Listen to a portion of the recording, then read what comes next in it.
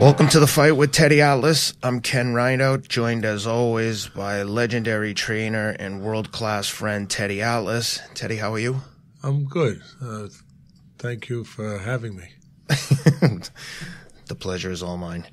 Um, I want to talk to you today about the, um, uh, the, we recently had the 25th anniversary of the Michael Moorer Evander Holyfield fight where you won your first heavyweight world title with Michael Moorer.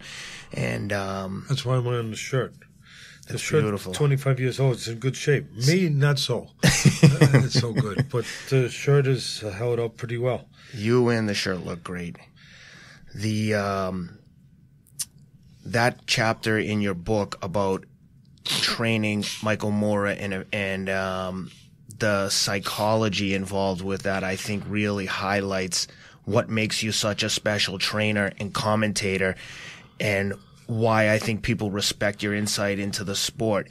And I'd love to cover some of the um, some of your experiences working with Michael because again, I, I found it to be fascinating reading about it in your book and kind of reliving it. I remember when it happened, but obviously it was 25 years ago.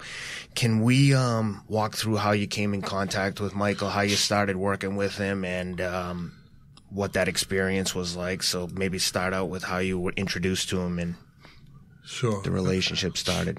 Well, first of all, just to touch on something that you, you know, you, you put a finger on, 75% of this business is mental. So if you don't understand that aspect of it, that dimension of it, uh, I don't think you're going to be too successful helping somebody else uh, in in this industry, in this business. Very difficult business. You can know the X's and O's backwards and forwards, uh, but you have to understand the domain that the X's and O's play out in.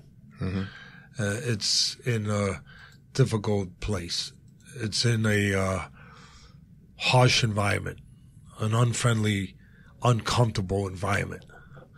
You have to understand that. So th- that's where it starts. But as far as the introduction, me and Michael was John Davimos. John Davimos was a young guy that his father, I believed, owned Shearman, Shearman and Lehman. You're a financial guy, so you might. I'm probably saying it wrong, but it was a financial firm, uh, something like that. Shearson and Lehman? Yeah, something like that. And he wound up selling it uh, to another firm, a big firm. Like, oh no, he wound up selling it to American Express, if I remember, for like a billion dollars, something like that. That's so, right. yeah, is that right? Is Yeah. it- and so John, who was uh, a young guy, and they were around boxing, they were given money to do what they wanted in the field of boxing. And John, I might not be saying this exactly right, but got involved with managing Moorer, Michael Moorer, who was managed and trained by the great late Emanuel Steward. And so I'm going to skip some things because you, you need to. And, but he, he got involved in his life, him and his brothers. And John was the lead guy and was managing him and managed him as a light heavyweight, I think, before the heavyweight. Uh, Michael was an undefeated light heavyweight. You know, as I always say, punches are born, they're not made. Michael was a born puncher. And he was a southpaw on top of it. And so yeah, you had a situation where he was going to move up from light heavyweight, which had never been done successfully before. Michael was the first to do it when he won the heavyweight title eventually, to go from light heavyweight to heavyweight and to win. So they were. John Davimos was involved. There was a Bill Kozerski from Detroit who was the promoter, and and then the Duvas got involved uh, as Emanuel got out. I, I think he made a deal where he sold some of his contract uh, or the promotional rights, I believe, to Duva. So you got the Duvas now. Dan Duva at the time, again, God rest his soul. Uh, he's passed away way too young, uh, just like Emanuel passed away too young. But he was he was a guy running main events with the Duvas, and Kozerski was the promoter, and then they brought over to main events, and Kozerski was the local promoter that was involved with Michael throughout his career. And then, like I said, John Davimos. And it got to a place where he became a heavyweight contender. He knocked out Bert Cooper in an unbelievable shooting match where he was on the floor and he came off the floor because Michael had a lot of heart. And he, he wound up, uh, knocking out Cooper. He got himself in position where he was the number one contender for the heavyweight title, which at that time was owned by Evander Holyfield. And he was, matter of fact, you know what? I'm saying that incorrectly. At the time, the heavyweight crown was actually controlled and owned by Riddick Bowe. Then mm-hmm. Holyfield beat him. Yep. And then Holyfield had the title by the time we got there. Mm-hmm. So it got to a point in his career where he wasn't training real consistent as heavyweight. There was a lot of emotional turmoil going on where he was going through different trainers, where he was having trouble with Emanuel, who was almost like a father figure to him. And he was, he had no father. He, he was brought up without a father, Michael. He, he came from a little town, uh, even though he was I believe he was born in Brooklyn, but he was raised in a little town called Monessen, Pennsylvania. He was a football player. He had some problems. He had gotten into some trouble uh, where he knocked out a police officer, I believe, over some. So they had some legal problems where they had to deal with it. There was a lot of turmoil going on. They got got through all that stuff, just like we all have turmoil in our lives, right? Except you, you, you never have turmoil and your head never you, fluctuates. You have no uh, idea the turmoil that well, goes on in I my mean, head. It, it doesn't, it doesn't show and your head never gets out of place. But no, it's good. And so we, they were at, he was at a place where you never know what's going in a, mar- married couple, you know, that old saying, you never know what's going on behind the doors. You never know what's going on. You just see the last, you see them when they're smiling, you see them when they're out to dinner, but you don't see when they go home. And the same thing in anything in life.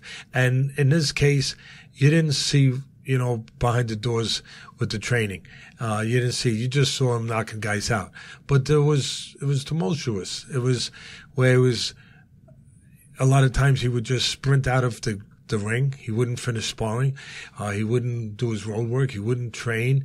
Uh, so he became a problem child. And they thought he was crazy. A lot of people say he's crazy. He don't care. He doesn't care. He's crazy. He don't care. He doesn't give a damn. And, and so, you know, guys aren't going to stay with guys like that. And this was happening for a while. So finally, got to the point where he's the number one contender. He's going to fight for the heavyweight title. We got to we got to do something, and that's where I came in. That's where John Davimos called this. I was young, mm-hmm. you know. Um, at that point, I was as young had, as his shirt. At that point, you never had a world uh, title uh, fighter, right? I you know what? I'm trying to remember if I had Simon Brown yet. I had Simon Brown, the welterweight champ of the world, for five title defenses, and I'm trying to remember if that came before or after. I'm sorry. Uh, just like the the shirt does have a little wear and tear. I have a little wear and tear up in the uh, the, the higher part of my brain and what's left of it, and I I think that he was my first champion. But you were a relatively I, I, unknown trainer on the like on the global yeah, scene. Yeah, I mean, I was training fighters at uh, Gleason's gym. I was also training Shannon Briggs, an undefeated heavyweight. Yeah. So I was training a lot of pretty good fighters. Uh, I, am trying to remember if I had trained Donny Lalonde already, uh, and and quite a few other fighters. I think you where had. I had already listen. I, as a kid, I didn't deserve it, but I I trained a prodigy. I trained Wilfred Benitez, the youngest champion of all time. Never will be broken. He was 17 years old when he beat Cervantes for the title. Wow. Uh, yeah, I trained him because I was with Cus D'Amato. And being with Cus D'Amato, Jim Jacobs uh, was a backer and a partner of Cus's. He would send fighters up there, and he sent Benitez up there, and I trained them because I was Cus's trainer. Yep. And I was 20 years old, 21 years old, whatever the heck I was. And um, I didn't deserve that, but – I was given it because Cus had faith in me and trust in me, and I was with Cus. And uh, if I screwed up, Cus could fix it. and you know, let's be honest here, right? We we always like to talk about that. And So I had already trained some pretty good fighters. That's why my name was out there. And, uh, I had trained some good fighters. I was known as a young, obviously a young trainer who, uh, I started getting known as a, I think as a teacher, someone who could change guys and, and also as a guy who understood being that I was a disciple of Cus D'Amato's, uh, and that was his forte. I understood the mental terrain, you know, the psychological, uh, dimensions of boxing, which I already said is the most important dimensions. So the call came, you know, the call came to me, uh, because of all those things. And I think, uh, the, it was funny. You, you gotta understand when, when I was with Cus, I was a 19 year old kid, 18 year old kid. I, I fought in the gloves up in Catskill and I won the gloves. And then I had an injury. I couldn't fight. Cus talked me into being a trainer. Cus was semi retired, maybe even retired. And he thought I had a gift to teach. He thought I had an ability to teach. He thought I was born to be a teacher. And, uh, so he had to sell me on it because guess what? There wasn't a lot of pay in being uh, an apprenticing uh, trainer. it didn't pay much. Uh, it didn't pay anything actually, so that's not much. And you know, and Cus, I didn't think of it at the time, but you know, I was of use to Cus to Mm-hmm. to bring life into a gym that had nobody in it at the time, really. And but but I, he was more helpful to me because And at the time, just to clarify, you were living at Cus's house, and I think your dad was helping you with some of the expenses and like. not some of them, all of them, but but it was a, it was a different time. It was fifty dollars. It was fifty dollars. Uh, was it fifty dollars? Uh, yeah, I think it was fifty dollars a week for room and board up in Catskill. Yeah. pretty good deal. Yeah. and but it was still it was two hundred dollars a month, and without my father, I can't do it. And I listen. We we don't have time to get into the, to the all of this stuff, but I, I was a screwed up kid. I was Michael Moorer without the power, and and Well, and- that's what's shocking to me. If people read the book and hear about the your, the early part of your But I life had to prior to it out a little earlier.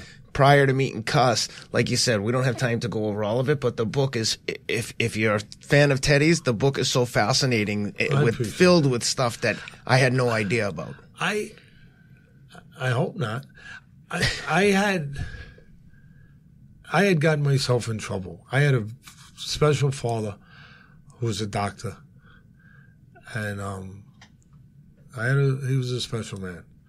He founded two hospitals on Staten Island for one reason. Way before everyone talked about Obamacare, or there, there were no HMOs back in those days. You went, you you wound up with no medical help or a clinic.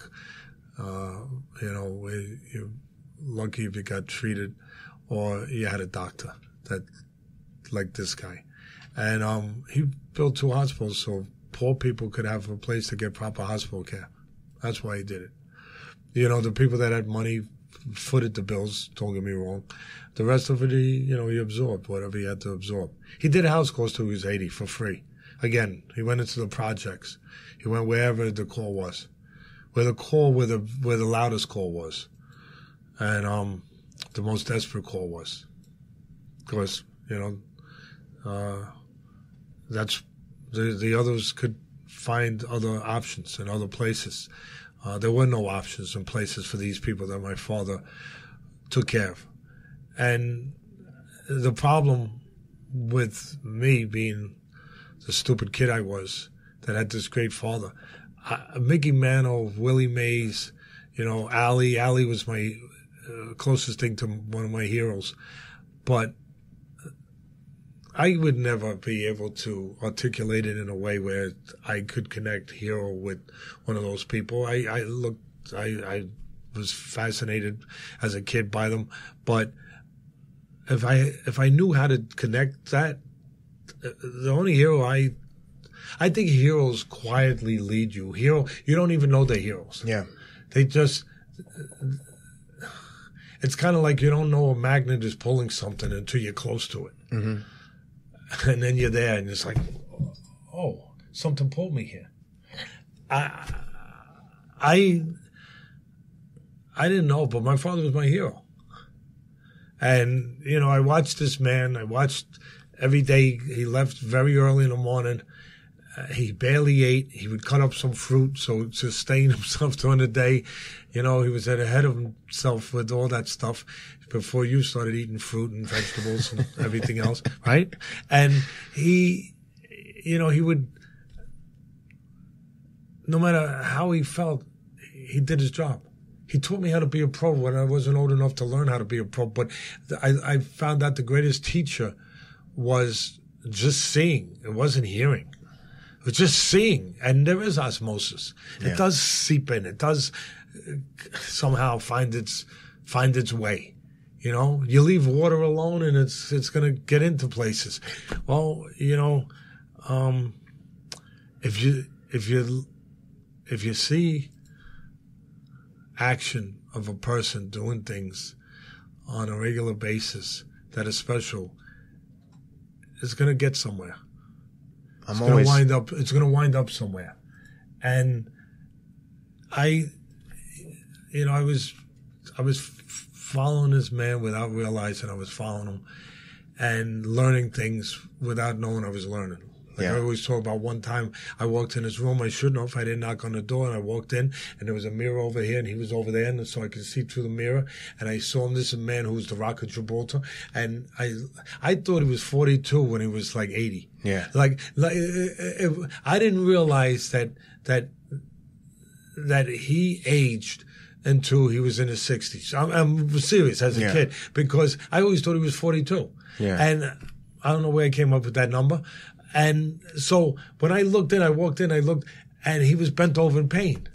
And he was wearing a harness. I didn't know what it was. It was a strap. It was a leather uh, truss that, that kept his intestines in place because he had a double hernia that he had built up over 30 years. He never took care of. He got in medical school when he saved the life of an obese lady who had a heart attack in, at, in front of NYU. That's where he went to medical school on the street, picked her up, saved her, and, and got a hernia, and then never took care of it because he didn't have time to take off because he was taking care of patients and eh, putting himself second, doing what a pro does, right? yeah.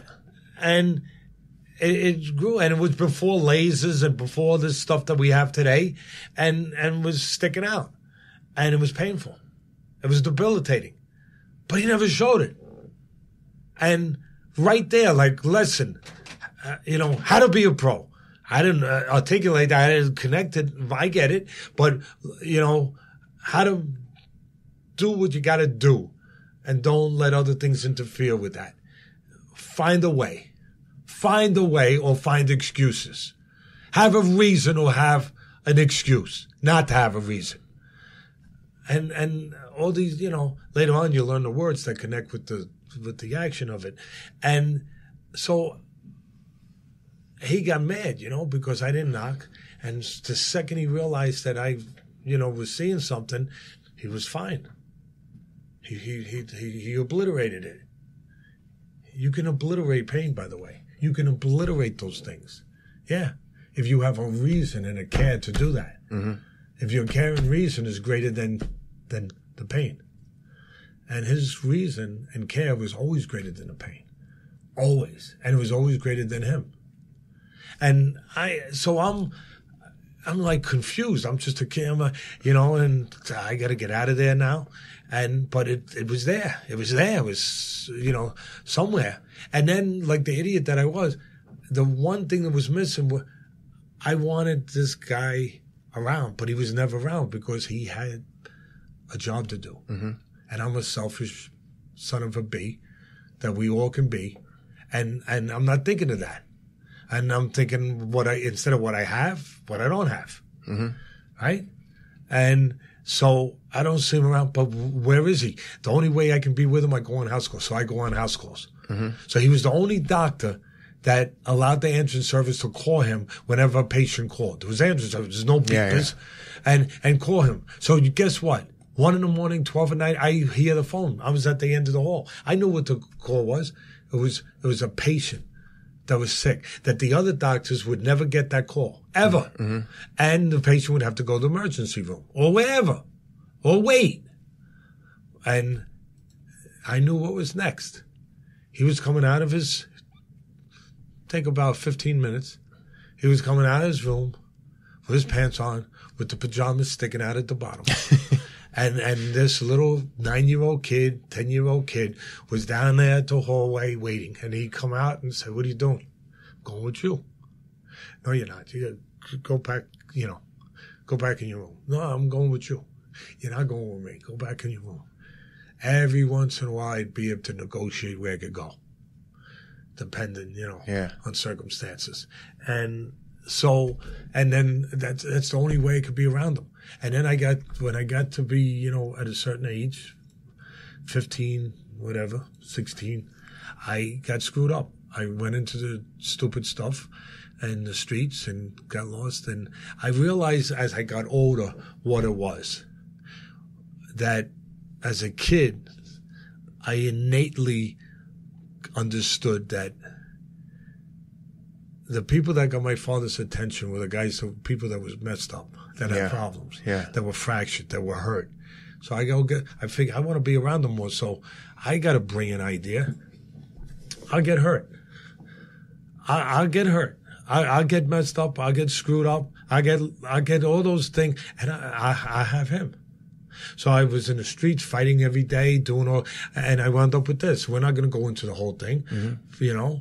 Fighting, some people don't fight with their hands, but that taught me something later on. I didn't want that lesson. It's amazing insight that you have the ability to recognize this in hindsight. A lot of people never can understand why they're doing what they're doing. But I, I found out afterwards, even with this, well, you know, there was like, it was, I don't know, five, six against one, whatever. And, and I'm fighting and all of a sudden someone has to cut me. You're going to win. I mean, I was doing, uh, you know, doing what I got to do. And maybe you're going to take a few punches, but the numbers will win. You will win. But no, no. Human beings being weak that they are and being powerful as they are, depending on your choice, right? Mm-hmm. Your choice. It's mm-hmm. always your choice. yep. You know, it's not a cosmic thing going on. It's your choice. And then all of a sudden, you know, someone pulls out, you know, flicks out a blade and no. And what did it teach me later as a trainer? That fear knows no boundaries. Not controlled will make the strongest the weakest. That, that no matter what the odds are, no matter how you're supposed to be in a position to be the favorite, to be the front runner, to that everything's going to be okay, it doesn't matter. Uh, Fear will show its powerful and sometimes, sometimes ugly head. And if, if you allow it to, if you allow it to, and don't understand it, and don't, don't say, no, I'm the boss, it will take you to some pretty damn bad places. But it's your choice. It's your freaking choice. How the hell did I learn that? Same thing I learned things about. my- It was there. It was just put there, but it came out later, and and I understood it, and so you know I I wound up, and then my father. Later on, I got in trouble through all these places that I went to that I just described. I got in trouble. I was facing jail. It was a serious thing. And uh, there was no reason for it. I, I had no reason to be doing those things except what I just said. And it's no excuse. It's no freaking excuse. It's no excuse. But I, I guess at the end of the day, as long as you get to the place that you want to get to, that's the right place, uh, the travels might be uh, a, a little less than uh, you know less than conventional but at least you get to that place. I finally got to a good place. Yeah. i finally got to a good place. And part of it was going up to catskill. That during the tr- troubled times I had a friend, Kevin Rooney, who had just won a Gold Gloves. He had gone up to Catskill four months earlier with Cus to fight to turn pro. That was the idea to turn pro with the, with this great, great master named Cus D'Amato who had Floyd Patterson, Jose Torres, and he was retired, basically, semi-retired, whatever. And he's up in a Catskill, and um, and you know, Kevin's up there, and Kevin said, "Cus, can my friend come up? He's waiting trial, and I want to keep him out of trouble. And he's he's a fighter, and this and that." And I went up there, I won won the gloves, I won the gloves. Uh, I couldn't fight anymore. Cus got to like me, and uh, I be I became Cus's guy. Yeah. and he talked me into being a trainer, and there was more to it, but I had that background, and now I'm down, obviously down in New York, living with my family. I had I had children, and a beautiful wife, two great children, and I get this phone call. From and, and I've already been, like I said, I trained Benitez up there. Yep. You know, because I was with Cus. I trained him for the Palomino fight. Uh, outdoors in Puerto Rico, the fight was when Benitez won the welterweight title. I mean, I was given again. I was given the uh, the I was given the keys to paradise. I was Yeah. I was given the keys to the Lamborghini, and and and I didn't even have a learner's permit. Eh, eh, eh, but but Cus believed in me. Yeah. and that said you have an ability to teach, and uh, all of a sudden things started. I, I found out that I had greater sense of responsibility for others than myself. That that that I cared, I cared about others, where I could make myself do things that were completely disciplined, completely you know controlled. Um, I didn't want to not. I didn't want to fail my responsibilities to others when I had a commitment to others Yeah. and and that Cus saw that, and I started training these kids. I started training the pros. I started training, and then you know, somebody named uh, Mike Tyson came along, who I trained for four years, and that took us down another trip, which we don't have time for, and I wound up back in New York. But I was already to the answer to your question. Uh, we had to take a few side streets to get there, but I was training fighters for a while already Yeah. and and I and cause when I got this chance, this phone call to train Michael Moorer, there was a couple things went through my head.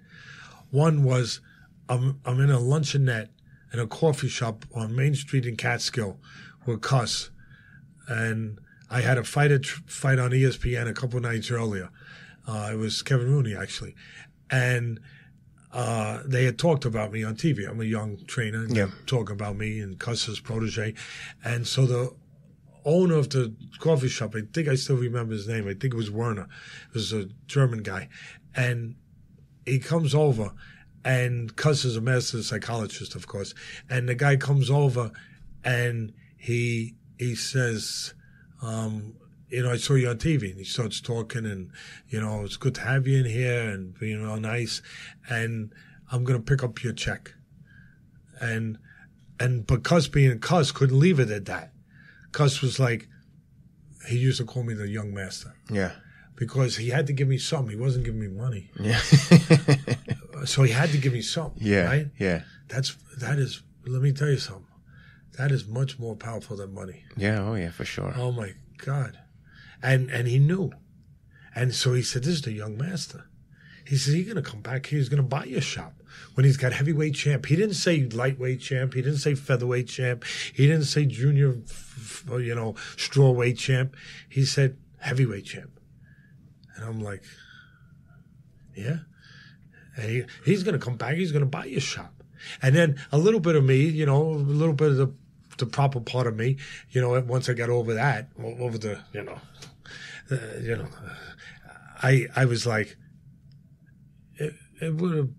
It would have been nice because if you just if we just said thank you, maybe because I didn't have the money to pay for the cheeseburger and the vanilla shake. to be quite honest, but he made me forget about that. Yeah. Cus made me forget about what I didn't have and think about what I would have. That's that's magic. Yeah. That's magic, baby. That that that is. And so I'm I'm I'm gonna have to heavyweight. So now fast forward to where you're talking about when when I get to go I said, This is this is this is the Final piece of the puzzle. this is that.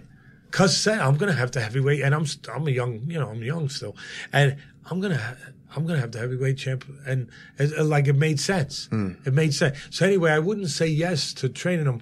The first thing was I would have to meet him. Yeah. But but I I did my homework. I did my due diligence. That's what you do.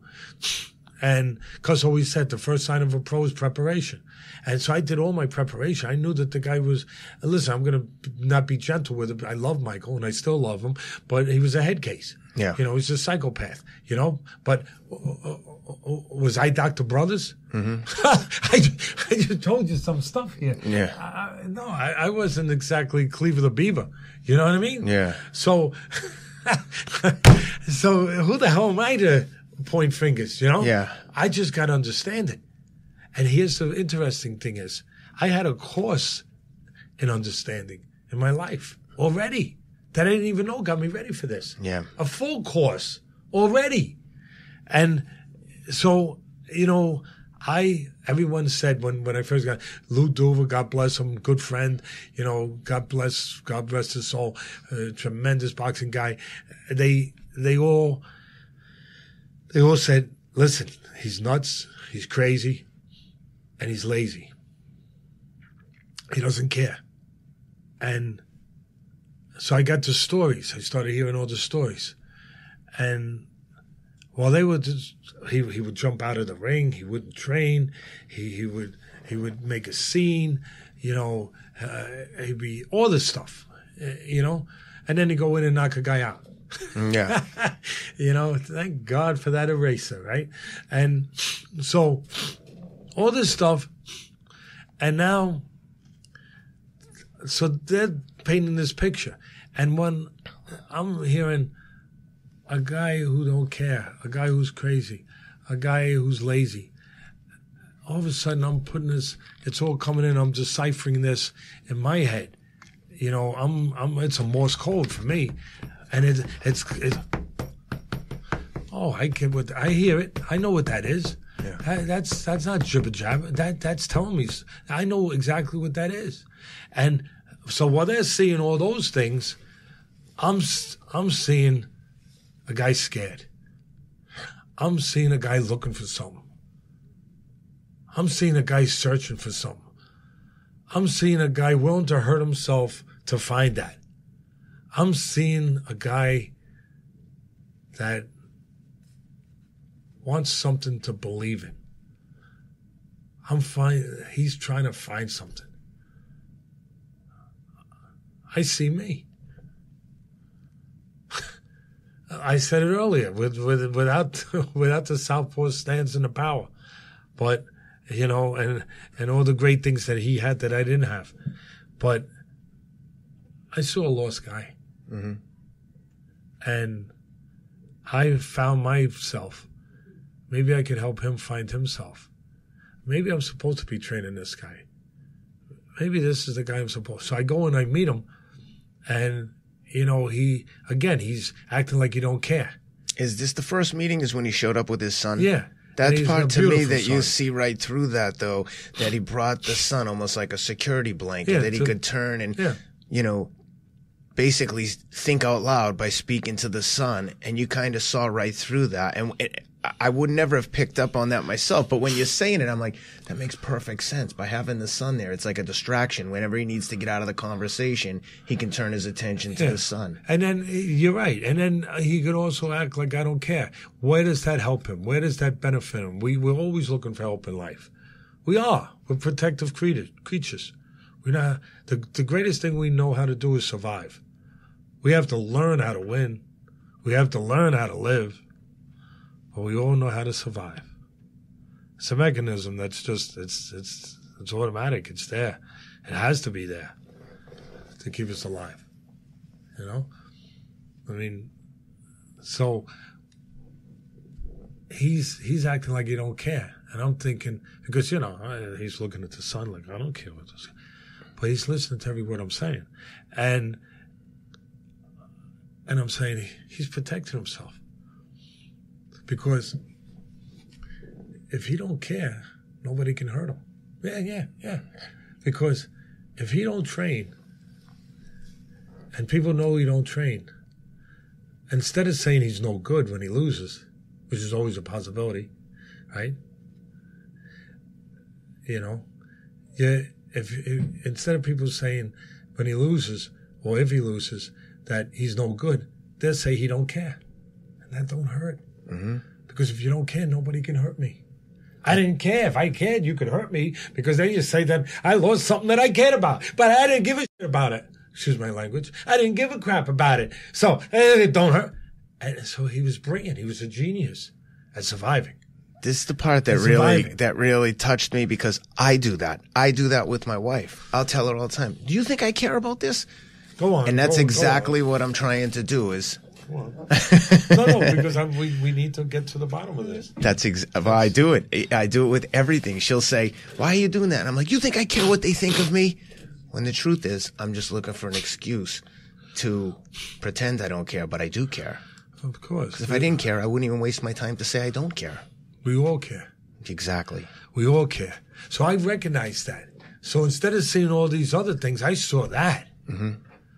And I remember a story that the brilliant real master, Cus D'Amato, told me about a fighter, a real fighter, that went on to win a real title, a world title, when there was only 12 titles, or whatever it was, but it was none of these extra titles. So during the real heyday of the game that Cus was uh, had, was involved told me a story.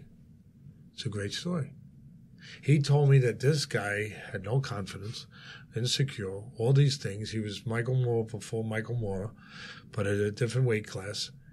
And that whenever he had a fight on, this guy would go and party. He would go out and he, but here's the key. Some of these guys do that. Excuse me, my back. Some of these guys do that and they hide it. He made sure everyone knew he was partying. He made sure everyone knew he wasn't training. He made sure everybody knew that he was breaking all the rules and committing all these sins. He was building his alibi Yep. and he was getting his parachute ready to pull when when it was time to jump. And so nobody else knew this. So Cus knew it. And so he would go out. He would. He, he wouldn't. He would go out and he would. He, he would party and he's let everybody know that he was partying and he's supposed to be training. Hey, you're supposed to be training. I don't- I don't. Uh, But here's the thing. Here's the thing. He would sneak into the gym at night and train because he knew he was going to fight. It, it was the alternate currents, electricity, positive and negative, banging into each other, back and forth. The battle going on. It was World War II going on there, back and forth. That he wanted to win. He wanted to be able to be special and great and all these things, but he he didn't know how because the instinct to survive was there and saying, no, I want you to survive. And it's not just physical survival, it's emotional survival. I want you to survive. So we'll make excuses. So if we fail, we can survive.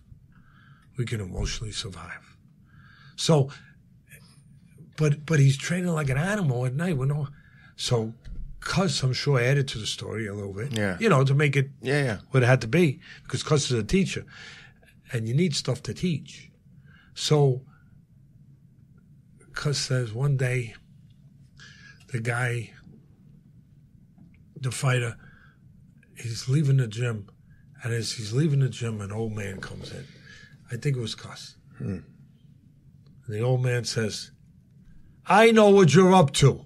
What are you talking about, old man? You don't know nothing. Kind of like walking out of a place after you robbed it and somebody yells from the projects, I saw, I, I know you. Yeah. You don't know me. having a talk. Now I do. Yeah. you know, and you don't know me. I know you. I know who you are. And so he, he's coming out of the gym. The old man says, I know what you're doing. You don't know nothing, old man. I ain't doing nothing. Yes, you are. Yes, you are. You're a fighter. You're the fighter. You're training. You're acting like you don't care and you care. You're training because you're afraid to lose. And he goes, You don't know nothing, old man. I ain't training. I know. And you know what? I'm going to let everyone know. So you better make up your mind. You're either going to make up your mind to win or to continue to make up your mind to have excuses to lose. But I'm letting it out of the bag. It ain't gonna be a secret no more. Now the guy had no, he had nowhere to, to go. He, he either has to quit or he's gotta face up. He something's forcing him to face up. Well, I told this story to Michael that first time I met him. Mm. That's the story I told him, and I was call, I was there was no doubt in my mind or his mind who that fighter was. It Yeah. was him. Yeah. It was him, and I made sure it was him because it needed to be him. And he acted like he wasn't listening, and then he messed up. After acting like he wasn't listening, he says, "So what happened? Did he win? Did he did he win? I said, uh, that's to be found out. That's to be found out. What do you mean? Did he win? That's to be found out. And uh, I had him.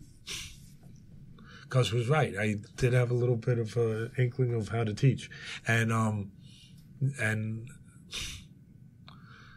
after that, uh, he went back. You know, I said, I don't know if I'm going to train this guy, and he went back. He went back to. Uh, he went back to Davimos and them, from what I understand, and he says, "You got to get me this guy. Yeah. You, you got to. I'll do whatever he says. You know, I mean, basically, uh, Yeah.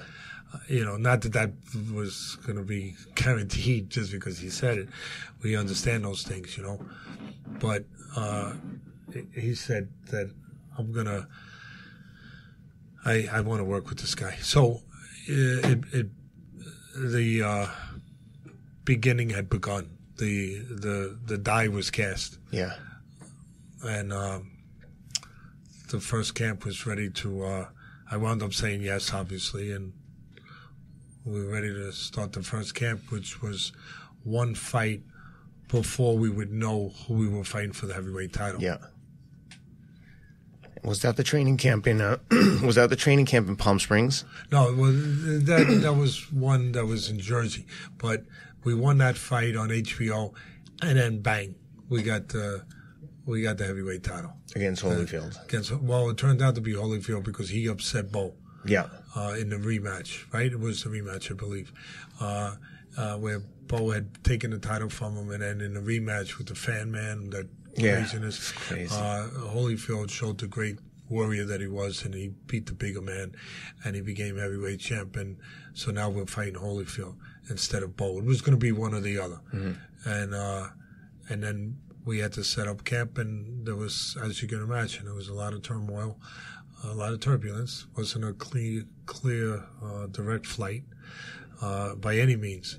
But we've, you're right. We went to uh, Palm Springs, uh, the Riviera Hotel. We trained outdoors at the right time there when it wasn't 120 degrees. Yeah. You know, and we trained outdoors on the tennis courts, Mm-hmm. and where they set it up where fans could come, you know, uh, and watch uh, the training you know, and they put a tent over the tennis courts, Mm-hmm. and bang, It seems crazy to think of that.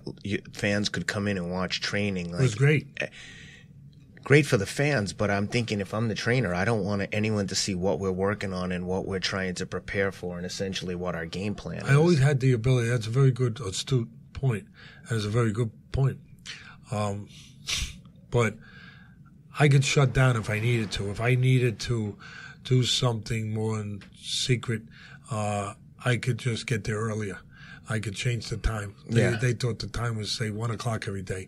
Suddenly, oops, we're training at twelve. yeah. Yeah, and nobody's there. So they could watch basic basic training and pad work, but nothing strategic, nothing to do with a I- fight I- plan. They saw some stuff, but uh, only what I let them see. gotcha.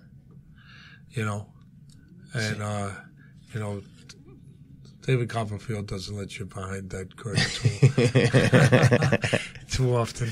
You know, Talk to me about the days prior to the fight because I know they were a bit tumultuous and uh, as you mentioned, Michael could be a bit of a uh, head case and wasn't the easiest person. And as the fight But it was starts for to these get, reasons. right, right. So as the fight gets closer, though, these emotions start to like come to the surface. It's a, I can imagine it's a wide range of emotions, Yeah. right? Fear, Michael's excitement. father left him. Everyone left him. His trainers left him because he was crazy. He wouldn't train. They, everyone left him. Allegedly crazy, but you wonder how But much of that wasn't crazy. an act. No, Exactly. wasn't it's. No, we self defense. He's pushing people away. He was a genius. Yeah. Listen, he was just looking. He wanted to find out. People wanted to know about him. He wanted to know about you. yeah. Nobody stayed with him. Mm-hmm. Are you going to stay with me? Are You going to pass the test? If I'm going to put my ass on the line and do all the things that I got to do in this risky business, are you going to put yours on the line? Well, well, everyone thought it was about you know finding out about him. He was doing it to find out about you. But that's a very fine line because I do this with my wife at times. You, I, I almost act like a jerk intentionally to see how much she loves me, and then I realize like You got y- it. You can only push someone so much before they're like, you know what, you win. F this, I'm out of here. I'm Unless not putting up with unless this. that someone's been down that road, and there's someone been down that road already. Yep. And I But thank God for that because No, I if mean, you listen, push someone enough, they're gonna go away. Thank God for him that he came into my life, Yeah. not just for me, Yeah. Yeah. but it was meant to be. But it um it was difficult. I was young, but at the same time, I was uh, understanding of what I was dealing with. You know, I and and again, we he was he was always prodding and and testing and looking to see that if you're going to tell him to take a risk, are you willing to take a risk? If you're telling him to stay, are you going to stay? Uh, everybody had disappeared on him, and so before he was going to buy in, he wanted to know that he could depend on you. You're, you're looking to see if you could depend on him. He's testing. He was doing his own training procedures and training camp to find out if he could depend on you, Yeah. if he could rely on you to be there. Yeah. And so he would do little things. I, I made a curfew at 10 o'clock. He would test that curfew, but he never broke it because he didn't, because he wanted to do it. He wanted to be stronger. He just wanted to believe that you were going to be strong too. He wanted to know that you were with him. That's all. But he would test it. Five minutes, uh, you know, we would make jokes. One of the guys in camp with me would, with a PR guy, Michael Borman, who was a great guy. He was a PR guy for the Duvas, uh, for main events. He, he would say, there's one thing you can, there's two things you can be sure of. The sun's coming up tomorrow, and if it's two seconds before 10, Michael Moorer is getting in that room. And no matter what, no matter what, he, if he's got to run from downtown Palm Springs full speed and, and, and, and, you know, find a, a, a shuttle to get him the rest of the way or, or rent a helicopter, he will be in his room by 10 o'clock because, because he understood there, there was a, there was a certain, it, it sounds strange, but uh, there was, it was a code. He didn't want Yeah. to break of, tr- of that, the trust that, that uh, he, he didn't want to lose that trust with me. He wanted to keep it. He wanted to test it Yeah. and teeter on the on the fringes of of of falling off it, but he didn't want to lose it. And then I tell him, okay, you got to get up and do road work at whatever time I made it. I think six. It might have been five thirty, but whatever time it was, you got to get up and run.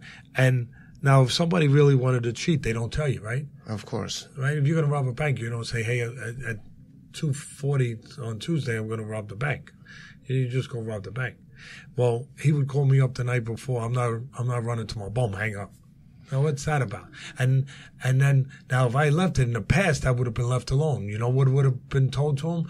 You don't feel like training. That's your backside on the on the line. When you get in the ring, you're the one who's going to pay the consequences. You either way, I'm getting paid. Either way, I'm getting paid. Either way, you you're going to get in the ring. You're not be in shape. Hey. You, that's that's on you, uh, and that would have been the end of it. And and the guy on the other end of the line would have went to bed, but I wound up in his. I would wind up in his room and say, "Hey, he wanted that. He needed that. He needed to know. He needed to know that that I cared. He needed Yeah. to know that I was going to risk my payday. That's the part of the whole story that I find interesting is the psychology between the two of you. We're gonna we're gonna cut we're gonna wrap this up here on for part one, and we're gonna come back to this next week and finish up with part two of the uh, Michael Moorer Holyfield fight. So